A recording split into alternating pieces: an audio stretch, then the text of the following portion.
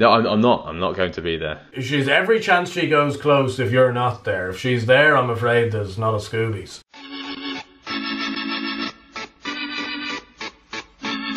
Hello and welcome along to the Let's Talk Racing YouTube channel in association with Racing TV. The Grand National has been and it's gone. How did you enjoy it? Yeah, it was a great couple of days. The Aintree Festival, the preceding couple of days have gotten better over the last couple of years as well.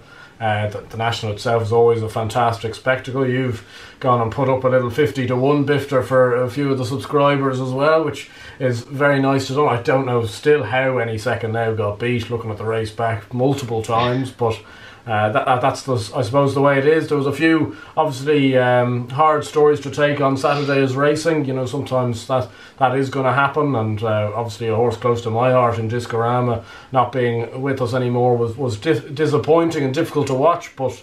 Uh, that unfortunately is the game we're in, and the first three days still were, were so good quality wise, and it was just great to see some of these horses come out and, and reproduce after John. There were some lows. Noble Yeats was a high. Was there another high for you, the likes of Three Stripe Life and, and Gelino Bello, who were both pretty confident about? Yeah, well, Gelino Bello was, was brilliant from a, a betting perspective, having both put them up at, at 11 to 1, and I suppose Minella Crooner came out of the race, I think, the, the afternoon after we recorded, which helped uh, massively there, but. Uh, three stripe life, I think, getting his day there.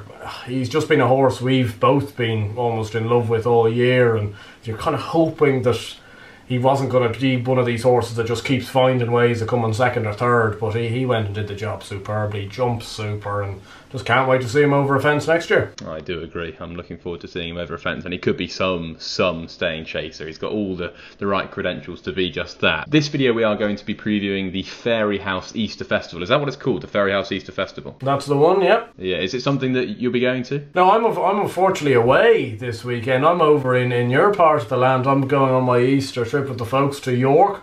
So be at uh, York City versus Spennymoor Town on Friday afternoon. Now that is top quality action. If there's anyone from York uh, that wants to go to that game, you can uh, hop along. Another thing to tell you about is uh, we had a few questions asking, will we be at Punchestown? Unfortunately, not, but we will be together because we're going to we're, we're, going to have a little treat. We're going to Cyprus with a couple of the other lads, the likes of Dan Overall, the Tipstar champion. I'm sure you're looking forward to bumping into him. Yeah, Dan, great guy. You know, obviously seems to be able to win the Tipstar competition back in a faller. I un- uncover the toughest dovecot in years, but uh, I swear I'm not bitter.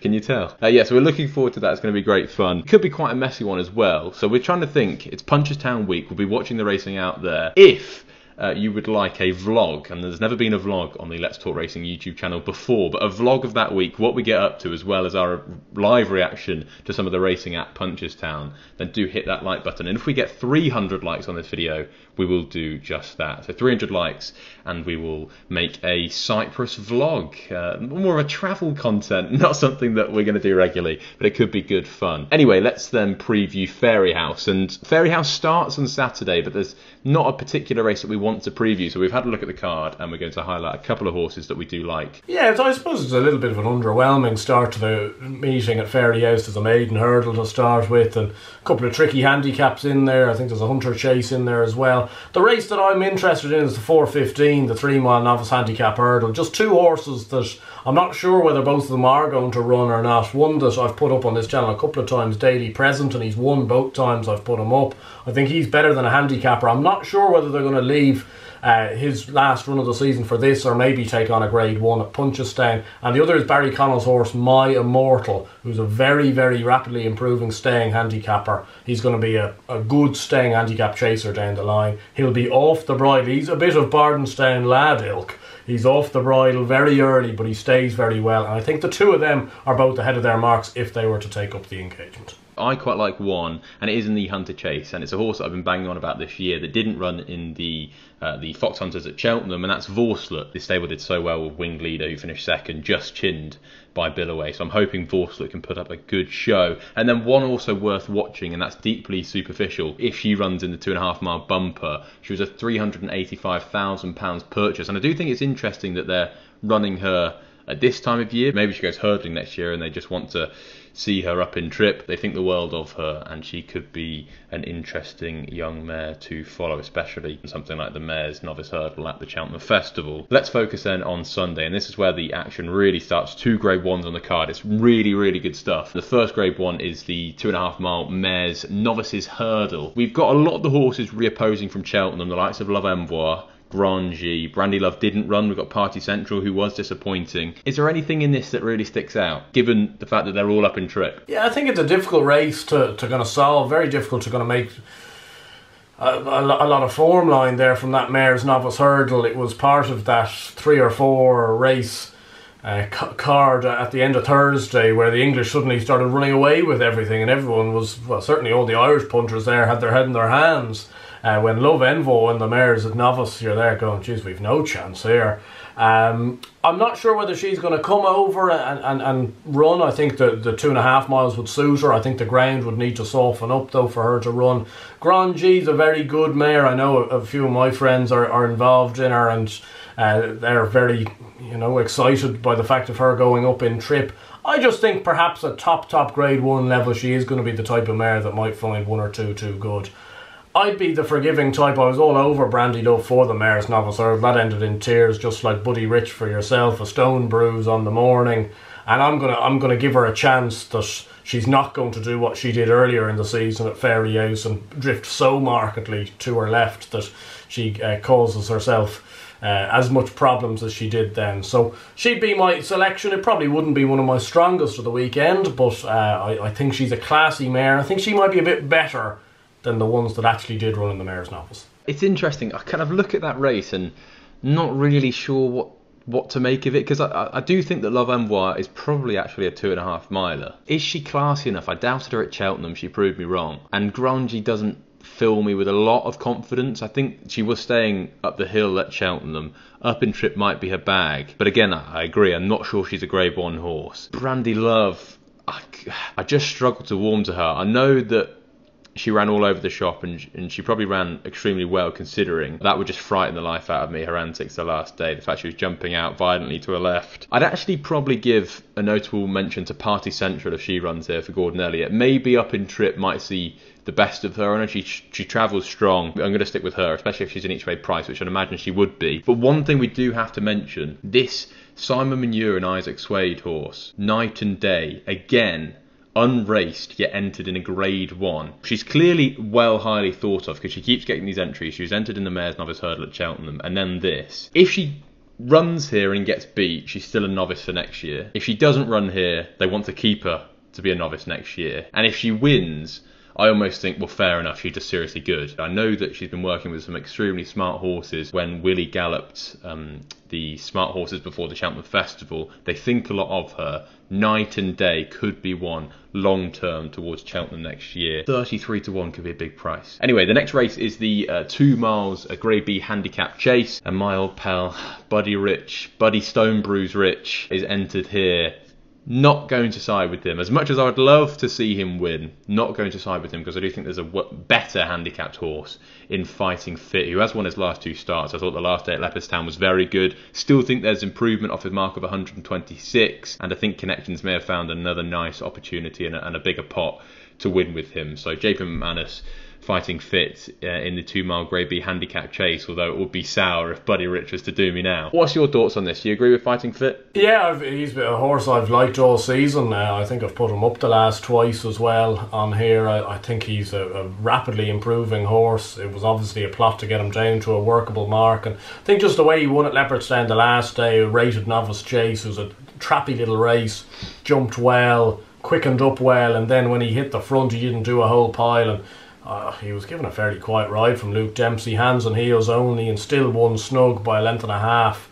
As a result, he hasn't been hit by too steep a rise, and I just I've thought all season that there's been a big pot in him. I thought it would be maybe the two mile handicap chase the Dublin Racing Festival. They decided to skip that, and maybe they were looking for a little bit of better ground, like they're going to get at Fairyhouse. So uh, he'd be he'd be my selection as well. Buddy Ritchie he's an enigma at this stage, really. I think we've talked about him for so much, and yet he hasn't run for five months now or something. So he is like we're we're just pontificating at this stage. But you know, you could be turning your back on a graded horse here, Josh. But I don't want to add add further flames to the fire. Thing is, it'll be right-handed. It'll be quick ground. Downhill finish. I need to stop. I'm getting the mighty Don Zanza feelings. I need to, to stay away. Um, if he wins, he wins. If he doesn't, then get in there. The next race we're going to preview is the Boyle Sports Gold Cup Novice Chase over two and a half miles. It is a Grade One, and the head of the market is Galopin Des Champs. Do we think he's going to run? I wouldn't think so. No, uh, I think they'll stay for the three mile one novice chase at Punchestown and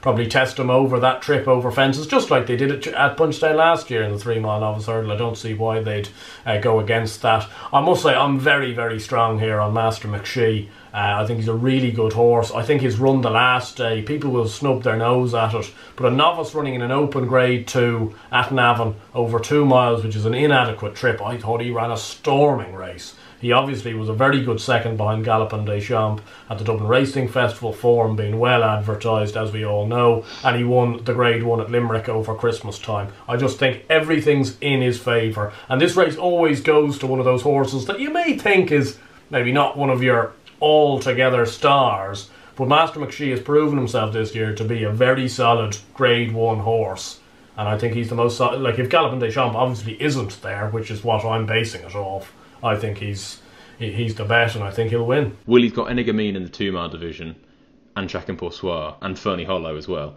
Allaho in the two and a half mile division. So they're kind of locked down. He's got Monkfish coming back for the Gold Cup. Al Boum Photo probably getting on.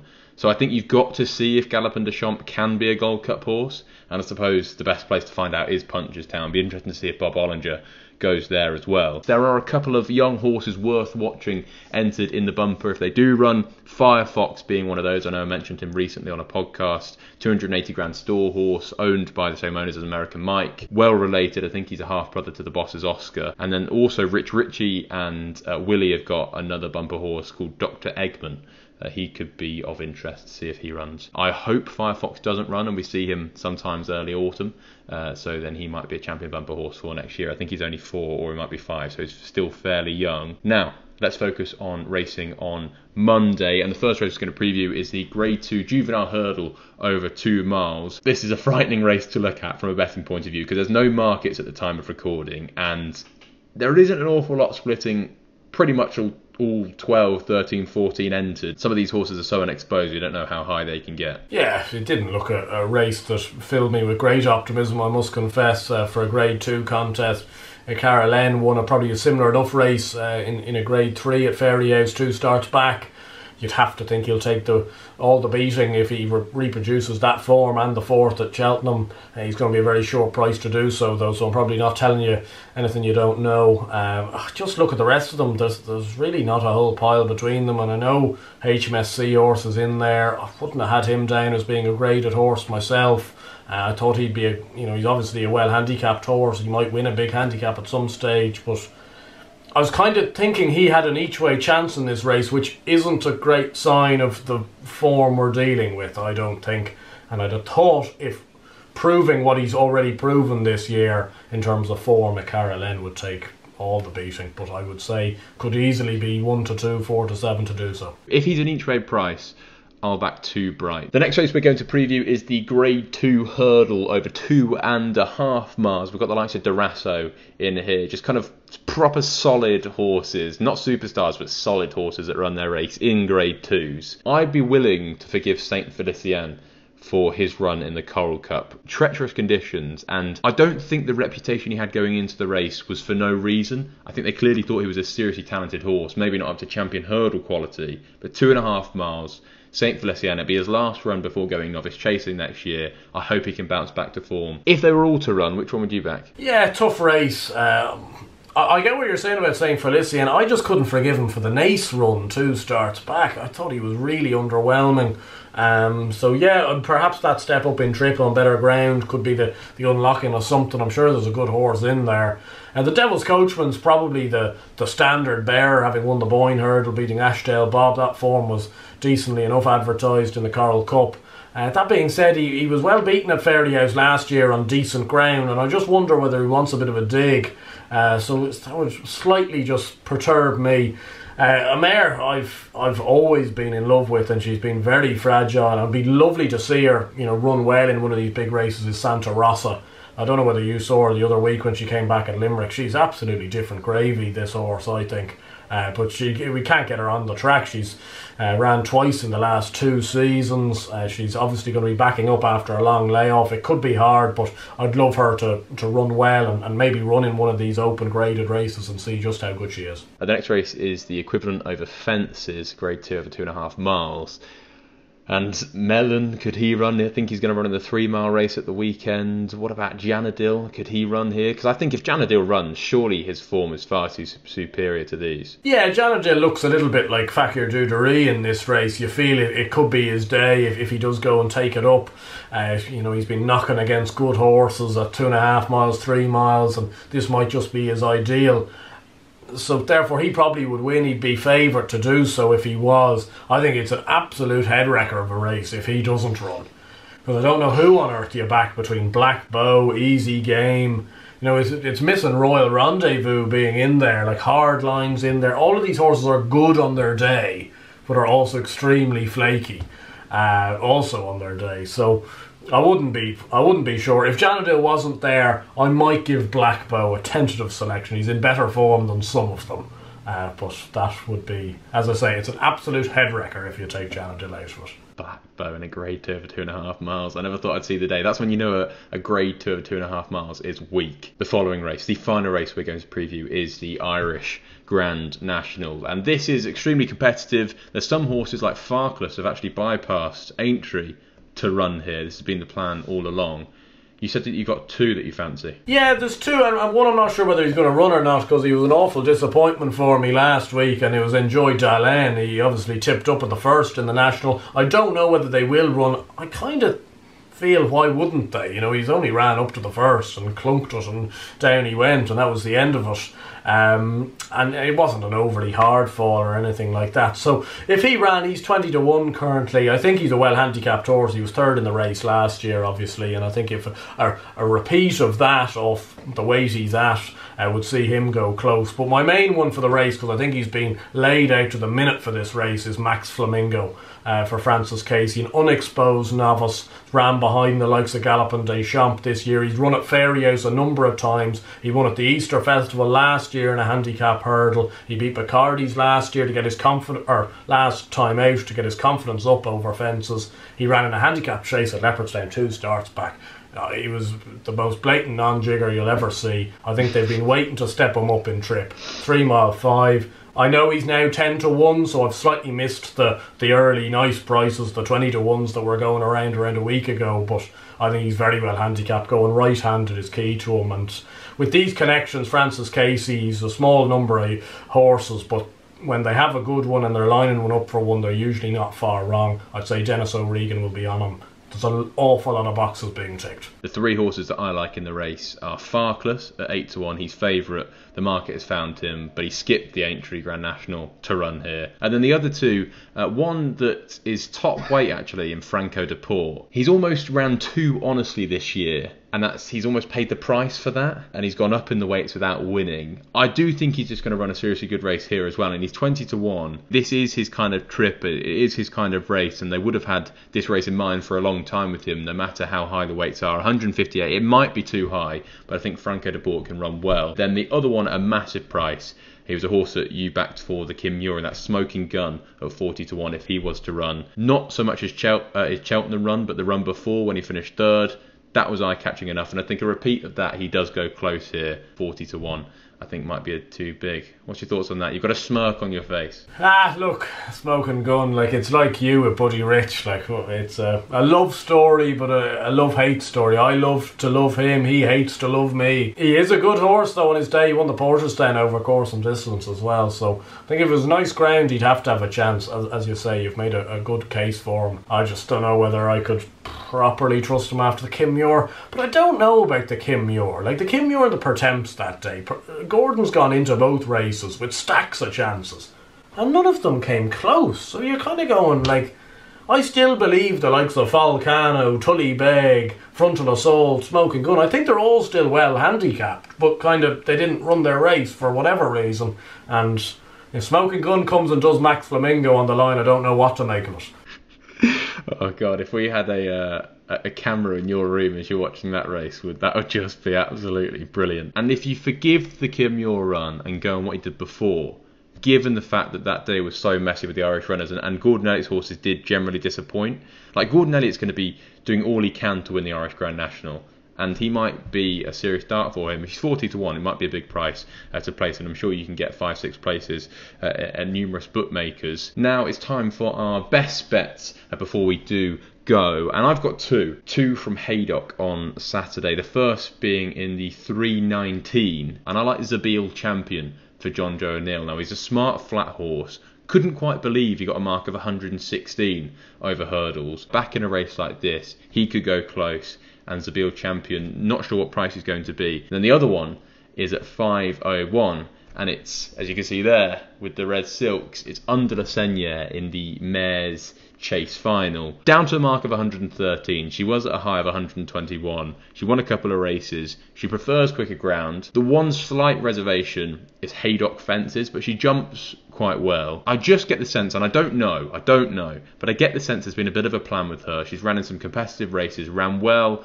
but not shown her best ability. We go to a big race, it's worth 50 grand. I think Vienna Court's going to run, and she obviously won one of the big handicap chases at Cheltenham this year. If she's a big price, or an each way price, I wouldn't put you off having a couple of quid on Under La for Fergal O'Brien and Paddy Brennan will ride. Perfect trip, perfect ground, over fences. I'm hoping this has been a long time plan and uh, she can go close in a big race worth a lot of money and that's what it's all about uh, so all the people that are involved in that hopefully it's going to be a fantastic day and Under La Seigneur can get the job done. Fingers crossed. Do you have a couple of best bets? Yeah, well, I'm sure for all your Under La Seigneur followers, they're just hoping that you're not going to be there. No, I'm, I'm not. I'm not going to be there. She's every chance she goes close if you're not there. If she's there, I'm afraid there's not a Scoobies. Every single time I watch her from home, she always runs creditably. And in the first few times, I used to go down quite regularly, and she'd always run stink. And whenever I didn't go, she'd win. But good for those involved, good for those that are backing her. I will not be at Haydock on Saturday. And under La Seigneur, that probably gives her a 35 40% better chance of winning. Uh, so under La Seigneur, if she is an each way price, I'm not sure what the prices are. If she is an each way price, I'm talking 7 8 to 1 plus maybe it could be worth a couple of quid. Yep, well, best of luck with that. Uh, Saturday, 4.15, My Immortal made the case from, I think he's the more likely of the two that I mentioned uh, to run in the race. I think they might race uh, for a Grade 1 with daily present. Uh, and on Sunday, 3.45, a rated novice chase, really like Alice Curran's horse in this Jackson's Gold.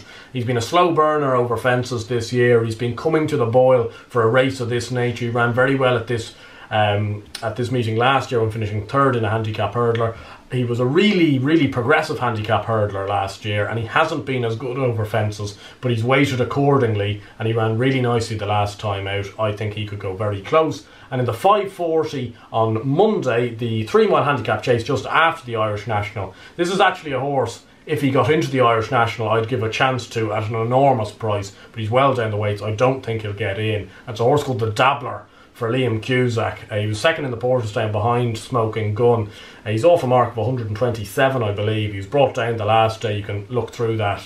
He wants this trip. He wants really good ground, and I think there's more to come from him. And if he's going to run in this uh, three mile one race as it was, I think that could end up being ideal for him. And as much as it's not the huge pot of the Irish National, it might be a really nice pot for connections to get. Obviously, slightly smaller connections. And I think he'll be an each way price. So the Dabbler he'd probably out of all three be the best of the lot. That could be a, a cliff horse day for ABW. He's got your, your good old pal Sandor Clegane is also entered in the bumper if he runs. Thank you ever so much for watching this video. We do hope you enjoyed it and we do hope you have a profitable weekend or Fairyhouse. I know Fairyhouse is on the Monday as well. If you do want to see that Cyprus vlog, then 300 likes on this video and you will get just that. Look, you've got your head in your hands, you know it's going to be messy, but it could be quite good fun.